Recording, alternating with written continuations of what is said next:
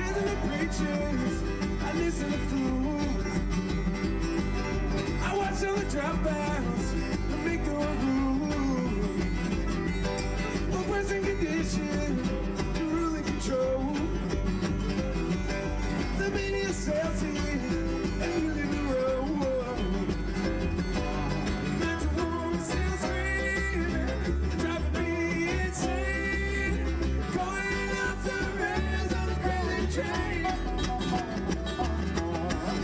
off the rails on a crazy train.